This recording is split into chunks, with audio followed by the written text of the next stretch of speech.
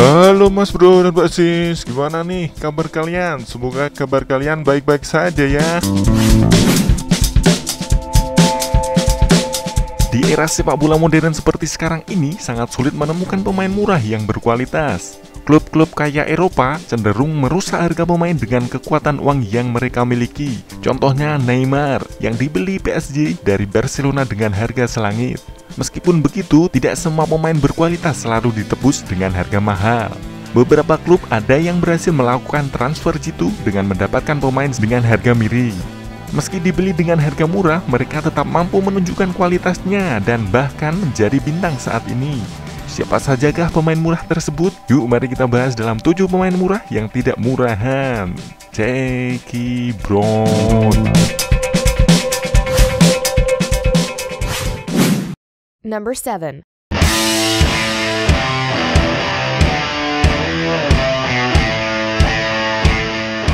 Di urutan 7 ada Marco Verratti.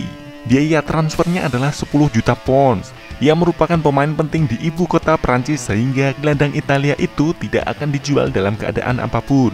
Bahkan Barcelona harus kehilangan Neymar saat berusaha membujuk Verratti untuk datang ke Camp Nou. Mantan pemain Pescara itu meninggalkan tanah airnya Italia pada tahun 2012 untuk bergabung dengan klub kaya di Paris. Pemain berusia 25 tahun itu telah menjadi andalan PSG yang mendominasi sepak bola Prancis belakangan ini.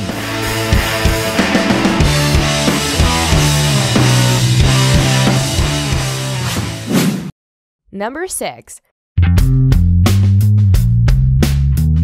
Di urutan 6 ada Rafael Varane. Biaya sebesar 9 juta pound sepertinya cukup murah jika mempertimbangkan Rafael Varane bakal menjadi salah satu back tengah terbaik di dunia. Ia adalah rekan duet Sergio Ramos di jantung pertahanan Real Madrid dan dia pantas mendapatkan kehormatan itu. Pemain Prancis itu menggabungkan kecepatan yang luar biasa dan kemampuan membaca permainan untuk menghentikan striker lawan. Dia diprediksi bakal sukses bersama Los Blancos dan Les Blues untuk jangka waktu yang lama.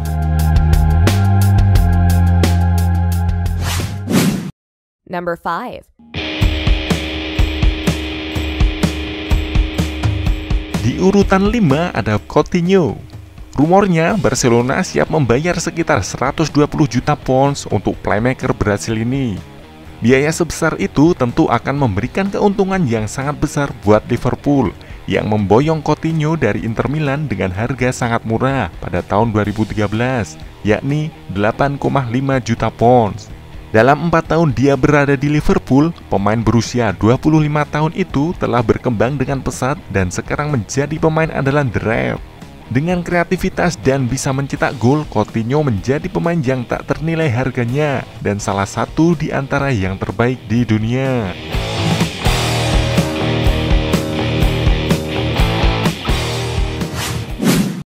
Number 4. Urutan 4 ada Joshua Kimmich. Dia bisa dibilang pengganti alami Billy Lam, baik untuk Bayern Munchen atau timnas Jerman. Kimmich sudah mulai meniru mantan rekan setimnya itu meski belum mencapai usia 23 tahun. Direkrut oleh Bayern Munchen dari Red Bull Leipzig pada Januari 2015 dengan mahar 6 juta pounds. Back serbaguna itu mampu menembus tim utama di Bavarian dan sekarang menjadi pilihan utama di posisi bek kanan untuk klub dan negaranya.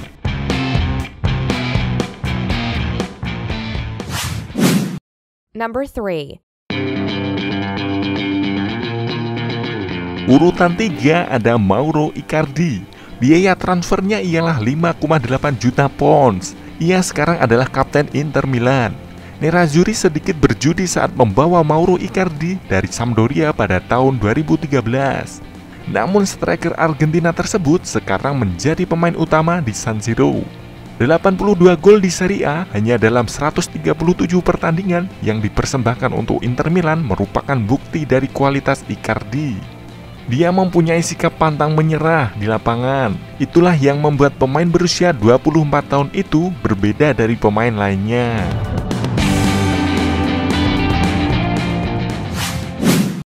Number 2. Di urutan 2 ada Dele Ali. Tottenham tidak sia-sia merekrut Dele Alli dengan harga murah dari MK Dons pada tahun 2015, yakni sebesar 5 juta pounds. Meski usianya masih muda, Ali sekarang sudah menjadi pemain reguler di Premier League. Pemain internasional Inggris ini merupakan bagian penting dari skuad Spurs yang sukses belakangan ini. Ali sudah membuktikan dirinya sebagai salah satu talenta muda yang menarik saat ini. Dan Brace melawan Real Madrid di Liga Champions adalah salah satu contoh aksinya.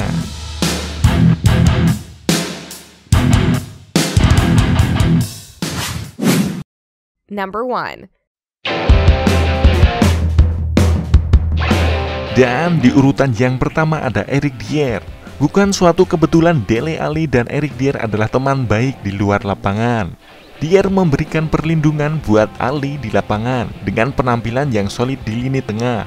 Tottenham mendapatkan pemain berusia 23 tahun ini dari Sporting Lisbon pada 2014 dengan harga 4 juta pounds. Pada awalnya ia dimainkan sebagai fullback, tetapi kini Dier memainkan peran penting di lini tengah dan back tengah selama beberapa tahun terakhir. Kualitas yang ditunjukkan Dier membuatnya terpilih sebagai kapten Inggris dalam pertandingan persahabatan baru-baru ini.